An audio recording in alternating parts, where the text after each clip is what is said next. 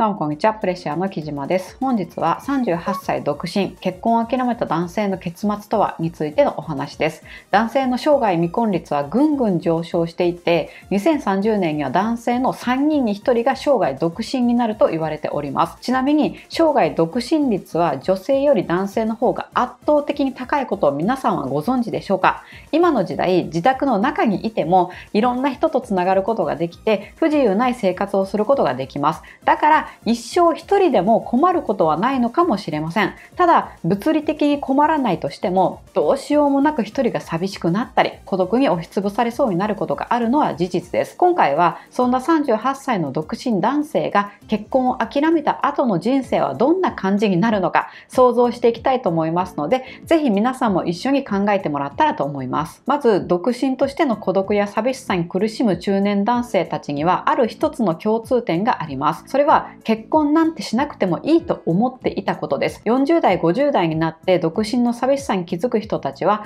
多くが30代の時に趣味があれば一人でも十分楽しい人生を送れる。結婚して女の ATM になるのはごめんだと早々に結婚を諦めて自己防衛本能で女性を嫌って結婚しない自分を正当化してきた人に多いです。ただ30代ではまだまだ独身の辛さは本当の意味でわからないことが多いんじゃないかなと思います。また独身男性が結婚しない理由は一体何なのでしょうか？その多くは結婚しないのではなくてできないために結果的に望まない独身を貫いてしまうことになっているのだと推測いたします。男性っていうのは自分が年齢を重ねても好意を抱く女性の年齢層が基本的に変わらないんですよね。女性ならこう自分の年齢が上がるにつれて大体同年代男性に好意を抱けるようになるんですが男性は自分が40 40代50代になっても20代など若い女性に恋愛感情を抱いてしまう人が多いです。そのため男性ほど年齢を重ねるほどに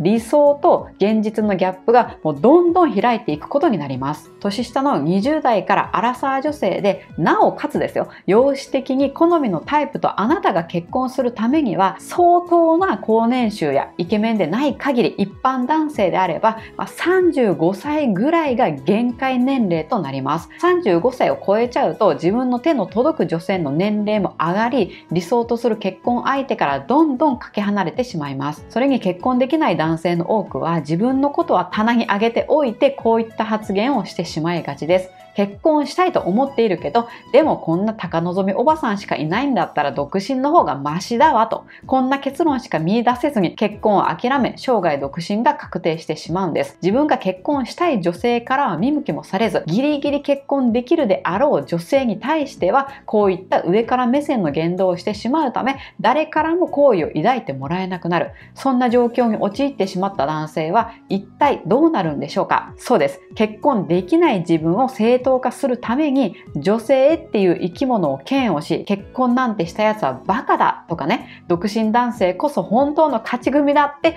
自分に都合のいい考え方をしてしまうようになります。今の時代に女の ATM になってまで結婚する意味なんてあるの？みたいなスタンスの独身男性ってネット上でゴロゴロ存在していますよね。発信している本人たちは気持ちがいいのかもしれないんですがそれを見ている第三者としてはねなんだか複雑な気持ちになってしまいますます。既婚男性からすると少々負け惜しみに聞こえなくもありません。また38歳の男性が結婚できる確率はどの程度なのでしょうか？国勢調査によると35歳の時点で独身の男性がその後結婚できた確率はたったの3%っていう数字が発表されております。35歳を過ぎるとね100人中わずか3人しか結婚できないっていうのは少々絶望的な数字に感じますよね。この時点で平凡な自分にはやはり結婚は無理なんだって諦めてしまうことでしょう。じゃあ、なぜその35歳を過ぎた男性はこれほどまでに結婚できる確率が下がってしまうんでしょうか？私なりに考えてみました。一つ目が、ライバル男性との条件の差が広がった。30代になると、まあ、出世する人やそうじゃない人、転職してレベルアップする人、しない人などに分かれ始めますよね。自然に結婚できる男性は女性が放っておかないため30代前半頃までには結婚していきます。そして結婚しない、できない男性は自分の収入の低さや劣等感から結婚したくない。っていう考え方に陥ってしまいます。その中でも条件のいい男性は婚活をすれば女性から選ばれやすいため35歳以降でも比較的結婚は決まっていきます。最終的に婚活をしても結婚できなかった男性はさらに劣等感を抱くようになり結局女は金だって敵対するようになってしまいます。私は今までね何千人っていう婚活男性を見てきたんですがやはり30代になると条件の格差がどんどん広がっているように感じじます。年収が1000万円以上の人もいれば300万円台の人もいますし非常に見た目が若々しい人もいればこの人本当に30代って二度見してしまうほど老けて見える男性もいます。30代ではこういった見た目や条件の差がどんどん開いて結果として結婚できる、できないに直結してしまうんだろうと感じます。35歳以降の男性が結婚できにくい理由、2つ目は結婚相手に対する理想とギャップが埋められない。自分はもう38歳なのに、それでも20代の年下女性しか好きになれない人、自分と同年代の女性はおばさんに見えると恋恋愛対象として見れない人は結婚できない男性の典型的な例かもしれません。なぜなら自分はこうどんどん年齢を重ねてね、おじさんになっているのに好きになる女性の年齢は変わらないってなると、そのギャップは年齢を重ねるほど大きくなってしまいます。それに38歳の男性が20代の女性を結婚相手として見れてもその20代の女性は38歳の男性は眼中にないことが多く、ほとんどは同年代や少し年上の男性とお見合いやデートをします。同年代の女性がおばさんに見えるように自分もまたおじさんになってて、若い女性の恋愛対象として自分は入っていないんだっていうことに気づく必要があります。もちろん例外ありますが、その例外に当てはまるような男性は例外になる要素を持ち合わせているように思います。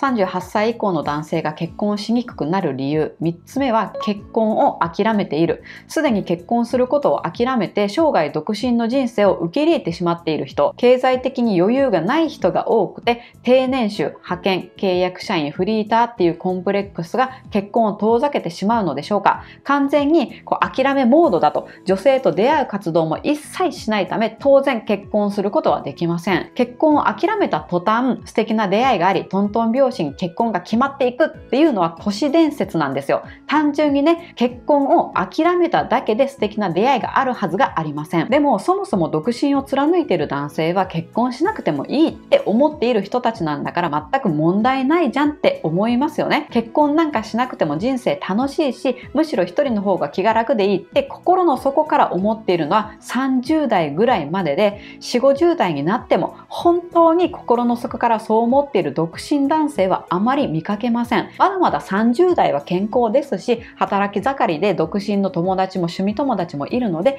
寂しさを感じにくく自由に使えるお金も手元にあるので、今のまま独身を貫けるんだったら最高だと思っていることでしょう。でも4、50代になり、体調不良になって、独身の友達は減り、趣味友達とも疎遠になった時に、本当に独身最高って思えるのかを今のうちにしっかり想像してみてほしいです。私が過去に担当した会員さんの中にも40代や50代男性はたくさんいらっしゃいました。婚活をしようと思ったきっかけを聞くと皆さん様々ではあるんですが最も多かったのは自分や親が体調を崩した時だったんです。それまで全く結婚っていうものを意識していなかったけど自宅で体調が悪くなって動けなくなった時年齢を重ねるとこういった状況に直面することが増えるのではって頭をよぎってその瞬間家族が欲しいって思った男性もいれば、親が入院して着替えなど身の回りの世話を家族で協力して行っている時にふと、親がいなくなった時自分が入院したらどうなってしまうんだろうかって急に不安になった男性もいました。今は健康で周りにいつでも連絡が取れる友達もいてお金にも困っていないとしてもですよ。それが一生続く保証はありません。状況がガラリと変わった時、